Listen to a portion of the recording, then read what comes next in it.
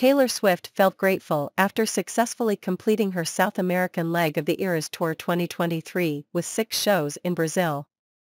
The songstress, 33, took to her Instagram handle and shared few stunning clips from her shows in Rio de Janeiro and Sao Paulo.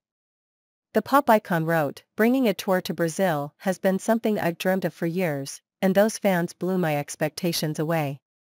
While showering praise on the magical crowds of Brazil, she said, We've officially wrapped up the 2023 Eras Tour and we got to end the year with six shows in Rio and Sao Paulo.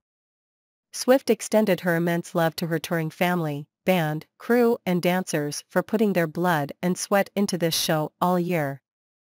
Moreover, the Lover singer remembered her fans for showing constant support.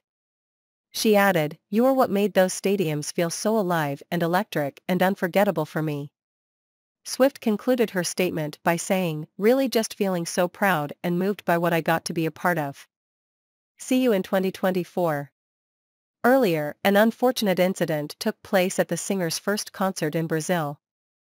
As per Brazil media, a 23-year-old young Swiftie Ana Clara Benevides died due to extremely suffocating conditions inside the concert venue at Rio de Janeiro.